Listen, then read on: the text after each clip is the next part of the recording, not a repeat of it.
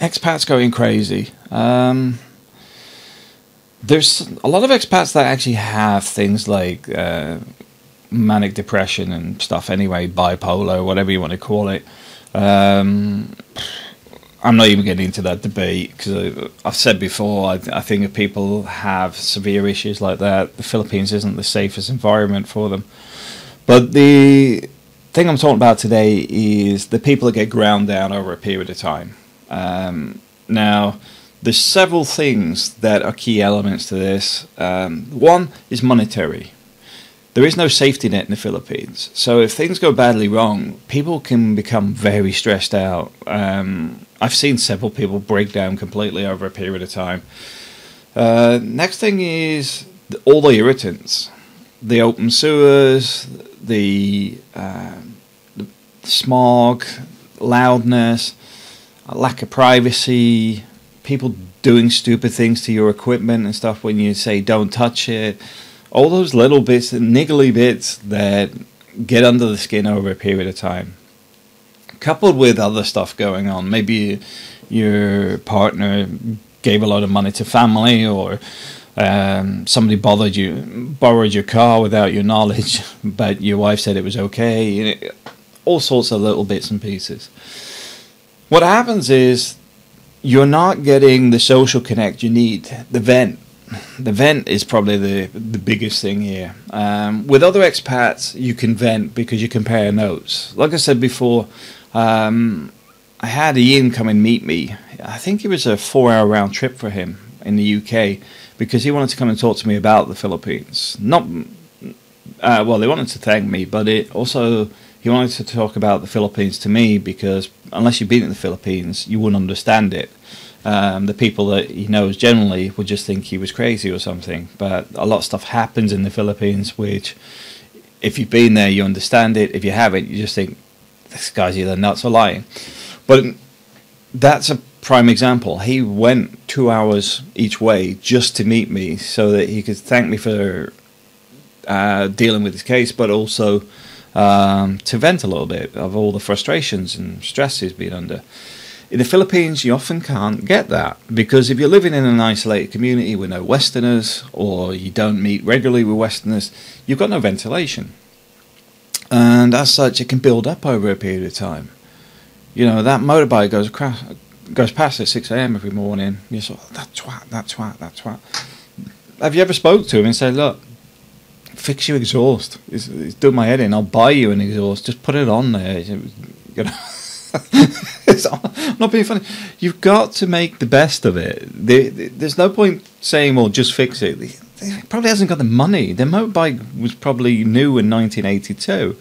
Um, you've got to adapt to the environment you're in, but some people start to deteriorate over a period of time because they can't talk to anybody about the problems they're facing. They can't go, oh, the business really crashed this week, blah, blah, blah. Can't talk about relationship issues, can't talk about the, the motorbike that keeps driving past at 6 a.m.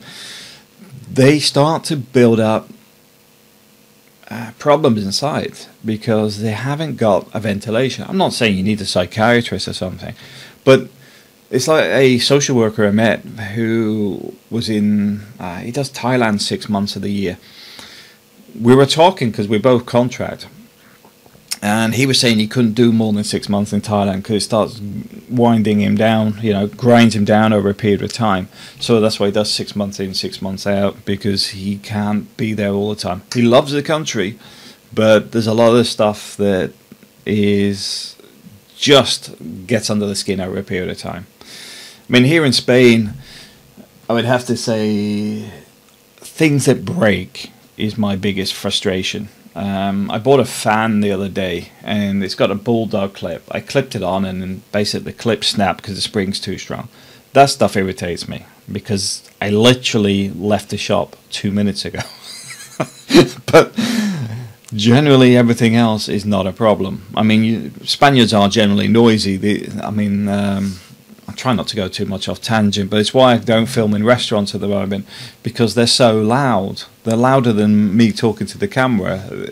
Um, but anyway, So these things will grind you down over a period of time. So you need to find a way to vent, and the easiest one is actually meet with other expats. And I know a lot of people say, "Oh, I don't want to meet expats. I don't want them. I can't stand them. They're crazy." Blah blah. blah. Look, everybody will say the same thing because they don't know you. You've got to find people you can uh, connect with. I speak to st- some guys online. Um, in fact, some guys I've never even met in person, but we're scattered around the Philippines.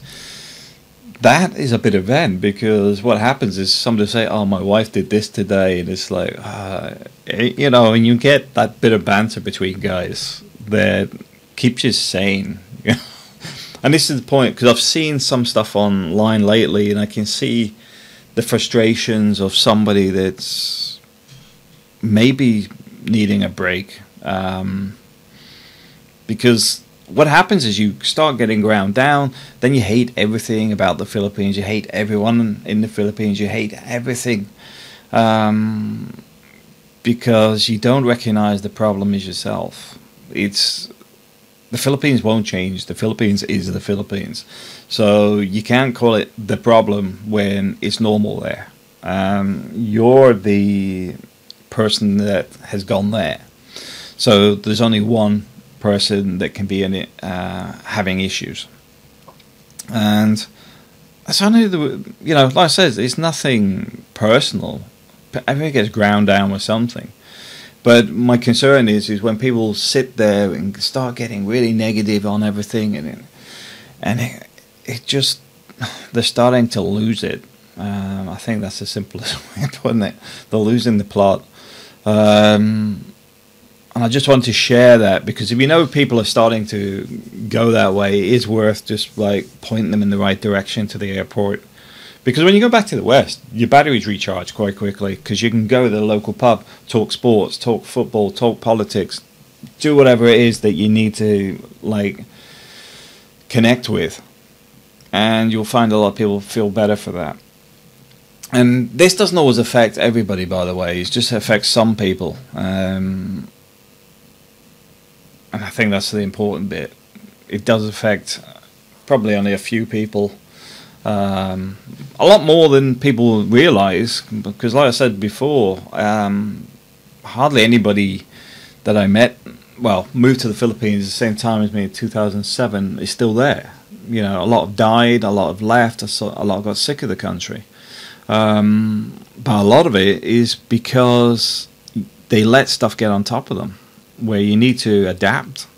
And I mean, I mean for example the Fiesta in Minglanilla does my head in. Um, I actually go and contract that month because it, it, literally does go on for the month. Um, so I just escape the country. Um, I can go and work. Instead of getting annoyed and frustrated, I just go and work.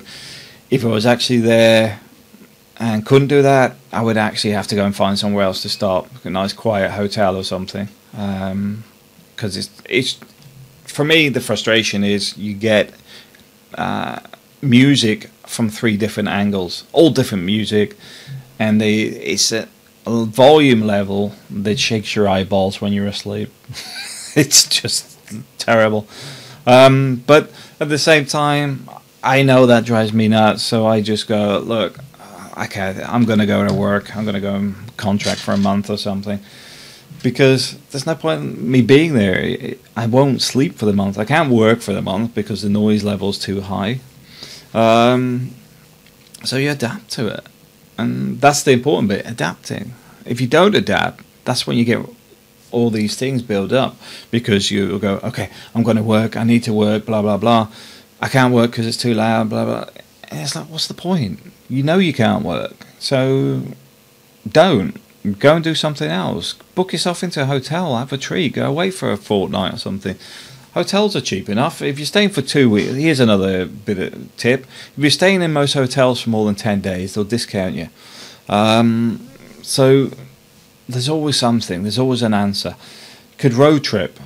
Road trip's pretty good. Um, I find myself there going to Negros Island was like really cool. Um, also going over to Bohol because it's different from Minglanilla, it's different from Cebu. same with going up to uh, San, San Remigio um, and even Toledo, which is just the other side of the, the island. Just traveling around can have a huge positive impact. Anyway, thanks for watching. Yeah.